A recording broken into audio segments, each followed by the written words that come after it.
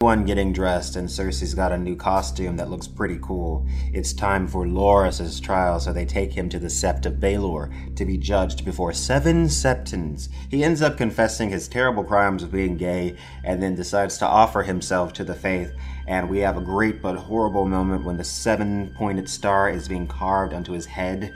Meanwhile, Tommen is ready to go to the trial, but is being blocked by the mountain. What's going on? So everyone in the trial is all like, Where's the Queen Mother? And then Lancel comes up and says, She's still in the Red Keep. What the hell is going on? Meanwhile, we have Pycelle who receives a message from one of the little birds to meet the king in the dungeon, but when he gets there, the king's not there. All that's waiting for him is a big bag of delicious murder. And it was great. It's actually quite similar to a scene that happens at the end of the fifth book in A Song of Ice and Fire, A Dance with Dragons. It also involves the little birds and Pycelle and murder. Uh, meanwhile, Lancel is being led underneath the Sept by one of the little birds, but it turns out to be a trap, and he discovers what Cersei's plan really is. There's like a shit ton of wildfire beneath the Sept and candles waiting to light it. Oh no! Meanwhile, upstairs, Margaery is totally freaking out because she knows that Cersei is a crazy bitch, and she's all like, we gotta get out of here now. And the High Sparrow is all like, no, it's cool, just relax. Underground, Lancel is almost made it to the candle. Can he do it?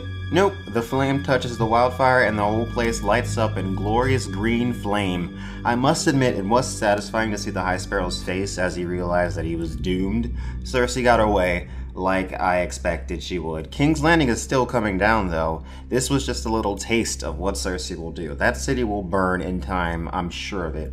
Cersei also has captured Unella, which is also great because apparently Cersei intends to torture her for quite a while before she kills her. I'm interested to see where what becomes of her. Are we talking about a Reek situation? Or perhaps even another mountain situation, I wonder. Cersei has gone full on evil queen at this point, and I'm loving it. And now that poor weak Tommen has met his fate, Cersei really doesn't love anyone anymore except for maybe Jaime, and judging by the end during that badass crowning scene, which I also loved, Jaime isn't too happy with what she's done. I'm sure he likely blames her for Tommen's death, which it is totally her fault in every single way. Uh, it's one thing to love your children, and it's another thing entirely to protect and care for your children. She failed on that point, at least. Sam and Gilly finally arrive at Old Town, which, if you look at a map, is like right beside Hornhill. You know, the place that he just left, the place where he stole the Valyrian sword Heartsbane from, and he also told his father that he was going to the Citadel. So his father has to know where he is, and he has to come looking. I mean, that's their ancestral sword. By the way, I'm calling it Heartsbane has got to be a reference to Azor Ahai. He stuck his sword through the heart of the woman he loved most. In Sam's case, this would be Gilly. Uh, it was only after this sacrifice that Lightbringer was born. Sam is at the Citadel now. It's one of the largest and oldest libraries in the world, and there are books there from before the doom of Valyria. And Sam is there for a reason, and it has to be to learn some important information about how the White Walkers were defeated last time, or perhaps how to make Valyrian steel, or some information that will be crucial to winning the wars to come. Uh, the library looked beautiful, by the way. I would have had the same reaction as Sam. Library goals, totally. So the Onion Knight is throwing a hissy fit over Princess Shireen, and Melisandre basically says, What do you want me to say? I was wrong. And Davos is like, Oh, well, well, look how many people have died because of your mistakes. I mean, it is what it is, Davos. Shireen is not the first little girl to die horribly, and she won't be the last. At least she died for a purpose. If it wasn't for that sacrifice, Melisandre and the rest of them would have probably died in the snow. She would have never revived Jon, and Winterfell would have never been taken. And Jon is being a little self righteous here. I mean, come on. The Lord of Light is clearly real to some extent. Uh, this woman brought you back from the dead. And Davos, I get why you don't trust her, I get why you're upset, but come on, man. You've seen what she can do. She's absolutely right. The real war is coming. We've got to let our stupid little silly emotions go and get ready. You need Melisandre. I mean, you need her. I don't think that this is the last we'll see of Melisandre, though. Uh, or maybe she'll pull a Gendry and never show up again. I mean, who knows? Anyway, I think that sending Melisandre away was a big mistake. It was not a good decision. I mean, she has power, you can use her. So Petyr tries to kiss Sansa, and she's all like, ill, gross, and he uh, is trying to turn Sansa against Jon. And judging by the end of the episode when Jon is declared King in the North, uh, Sansa and Littlefinger share this weird little look, which makes me a little nervous. So I don't know where that's going. Is there's a little bit of conflict building between Jon and Sansa now, and I don't like where it's going. I don't like it at all. So back at the twins, we get Walder Frey. Uh, he's calling for his sons or daughter or something, and the chick that is serving him pie is all like, "They're already here," because they're in the pie.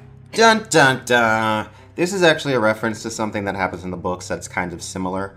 Uh, after the big pie reveal, we find out that it's actually Arya wearing a face. She kills Walder, uh, she kills Filch from Harry Potter by Filch, and then she smiles as he dies. Ugh, I'm not even gonna try. It takes Sam like five or six episodes to go down the street, but Arya gets to the twins from Braavos in like five minutes. Did she teleport? I'm curious if the show doesn't bring back Nymeria, or her wolf, then what is Arya to be doing from now on? Is she just to be going around being a faceless assassin, even though she's not one? But she is because she's wearing faces, but she's not because she's Arya Stark. But I thought that the most important bit of it all was that you had to be no one before you could become someone else. I'm so confused. Whatever, let's move on. Ugh, no. God, why? why, God, please, no. I mean, I mean, I, I mean, I guess it was cool to see uh, Lady Olenna talk shit to the Sand Snakes. I just can't take Dorn. I can't take Dorn. Fuck it. Fuck this fucking shit. Vengeance. Justice. Fire in blood. That's Doran Martell's line from the end of A Feast for Crows. How dare you, HBO? How dare you? If you're going to kill the character, then let him rest in peace. Don't give his lines to lessers. Also, I guess Varys is now part of the teleportation club because he jumped from Dorne to Slaver's Bay.